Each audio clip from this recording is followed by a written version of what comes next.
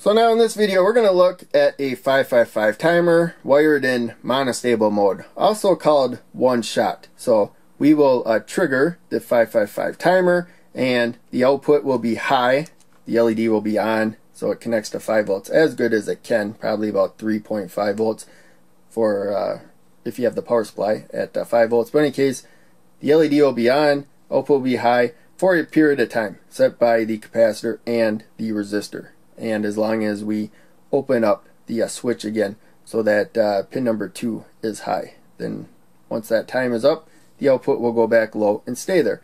Again until we close the switch give a low input to 2 so the pin number 2 is the uh, trigger pin.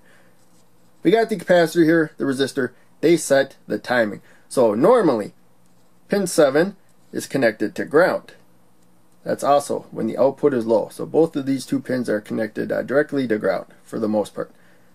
The uh, discharge pin and the output pin. Pin 6 just looks at the uh, voltage there. Make sure it's staying less than two-thirds of the uh, supply voltage. But uh, any case, we remove the magnet. We're going to wire the magnetic switch so that uh, the sensor is normally open while the magnet is next to it. That keeps it open so it's off. So I'll pin 2, the trigger pin sees is 5 volts right there. Even though it's through a resistor, there's no current flow, so that 5 volts will build up right there. Once we remove the magnet, the switch closes, we'll have a direct connection to ground. So that's direct, so it's 0 volts, less than one third of the supply voltage. But in any case, a low input, 0 volts in this case, to a pin number 2 means the uh, output will go high, forgot to write output, uh, I put pin 3, sorry, so that's output. And also pin 7 turns off. So as I said before, discharge pin, it uh, normally discharges the capacitor and lets current, you know, flow through to ground so the capacitor doesn't charge. Now it turns off. It's like an open switch. Doesn't connect to anything. Current can go through the resistor and charge the capacitor. No current goes through the uh, threshold pin, pin 6 all the current just charges the capacitor until it gets to two-thirds of the supply voltage. Also, while the capacitor is charging, the output is high, connected as close to 5 volts as it can get, and uh, the LED will light up. Once the capacitor gets to two-thirds supply voltage, then it instantly discharges. Pin 7 connects to ground. Also, the output goes back to ground right there the capacitor instantly discharges. Both sides will be connected to, uh, directly to ground. And it can't charge again because current is uh, being pulled to ground on both sides at uh, all times. The switch has to be open though by that point. If uh, the switch is still closed right here, that's going to hold the output high until the moment you open the switch. So that's after the timing. The amount of time is controlled by the uh, resistor and the capacitor. Remember to be uh, completely discharged. There's formulas out there to try to get an exact time, but uh, for the most part, just realize the larger values you use, that's a 100 kilo ohm, 100,000 ohm resistor, and a 100 microfarad uh, capacitor. I think that's going to be close to about 10 seconds that we'll get. We'll see that on the board. But in case, larger values, it will take longer to charge the capacitor. Lower values, it's going to go quicker. And of course you can balance them out to get the exact timing you want. You can go higher on one, lower on the other, or whatnot. So in any case, just a quick review. The 555 timer we're going to use is in the dual inline package. So this is how the numbering goes right there. When you're wiring up an integrated circuit from a schematic, you'll see the uh, numbers on there. And uh, you just have to make sure you have the divots to the top. And then the top left is pin 1. You work your way down, increasing the number until you get to the bottom and uh, there's eight pins here so we get down to four.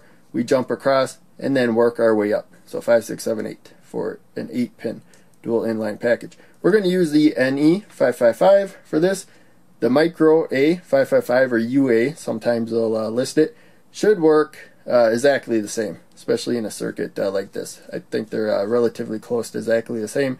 You have to check the data sheet for uh, any differences but there are a variety of 555 out there that uh, don't have uh, quite the uh, power handling or whatnot for various reasons. So you want to always make sure if you have a uh, rare version 555 definitely check the data sheet and make sure it can handle whatever circuit you're wiring up. And there's the names of the pins right there.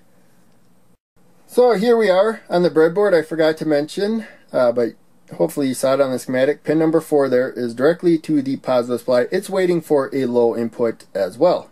We don't want it to do anything, so we keep it high, 5 volts. And uh, I think it's waiting for less than half of the supply voltage, but we're keeping it off for this video. We power the integrated circuit with uh, pin number 8, positive supply, pin number 1 to the negative supply, right there. And uh, within the integrated circuit, it has three resistive areas to determine the one-third and two-third supply voltage, right there, as long as you don't modify pin number 5 down there. But in any case, positive supply, we got the pull-up resistor to the switch. The output, we got the current limiting resistor to the long lead, the anode of the LED, short lead, the cathode, down to ground. So it lights up when the output goes high.